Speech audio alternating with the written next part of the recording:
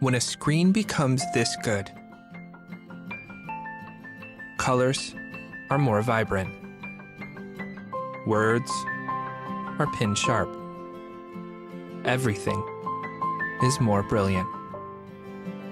Because when a screen becomes this good, it's simply you and the things you care about. The stunning Retina display on the new iPad.